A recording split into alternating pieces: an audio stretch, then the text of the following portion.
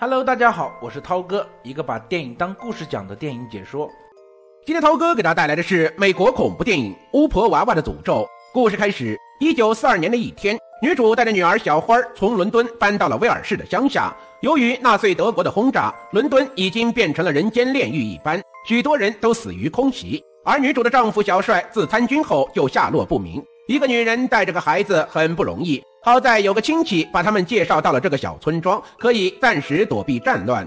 接待他们的是绅士叔，他将女主母女带到了居住的地方，一栋位于森林深处的大别墅。而这里真的是太大了，称之为城堡也不为过。女主有些担心，这里只有他们母女，前不着村后不着店，住这么大的房子，晚上咋能睡得着？绅士叔让他们不要担心，这是镇上的集体财产，免费住，顺便帮忙看着房子。这样的好事真是哪里去找？女主一想也是，自己是来逃难的，有个遮风避雨落脚处就不错了，咋还好意思挑肥拣瘦？随后，绅士叔简单的带着女主母女熟悉了一下环境。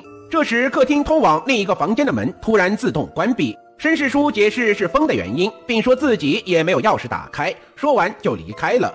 而时间过得很快，母女二人渐渐的熟悉了这里的环境，但他们也渐渐的感觉到了这里的不对劲儿。这里东西会莫名其妙的位移，墙上会莫名的出现手印，但他们毫不在意。这天，小花正在客厅写作业，忽然那扇锁着的门竟然自己打开了。接着，小花不知道看到了什么可怕的东西，发出了惊恐的尖叫声。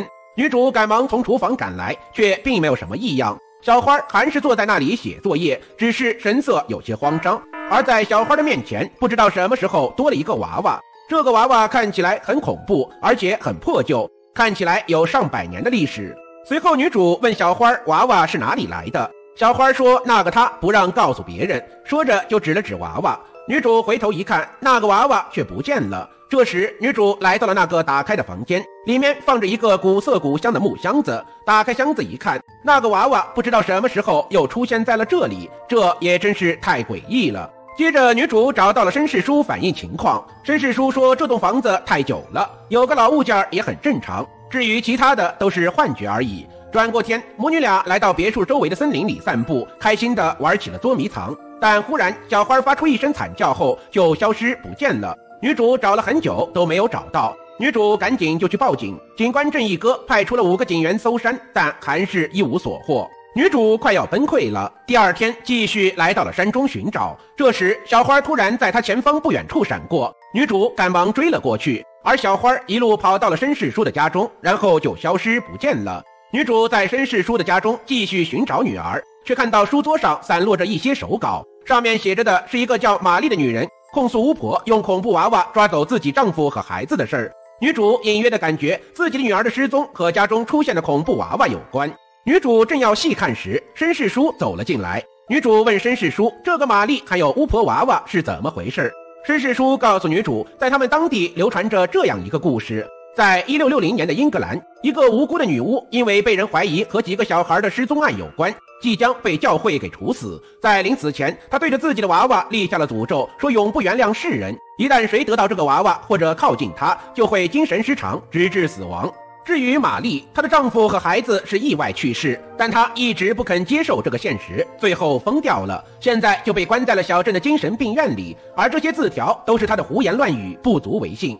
接着，女主失望地离开了绅士叔的家。时间又过去了七天，还是没有小花任何的消息。女主整天是以泪洗面。这天，女主忽然听到了一个女人的声音，转身一看，是那个恐怖的娃娃。女主起初是很害怕，但想到这是找到女儿唯一的希望，于是鼓起勇气和恐怖娃娃搏斗了起来。在幻境中，女主仿佛回到了伦敦，她的面前出现了丈夫小帅和女儿小花欢乐的身影。忽然，防空警报响起，小帅和小花躲闪不及，被压在了废墟之下。女主是拼命的挖，但还是没能救回亲人的性命。绝望的女主坐在地上嚎啕大哭了起来。而这时，绅士叔和警官正义哥赶来，将女主扶了起来，送回了房间。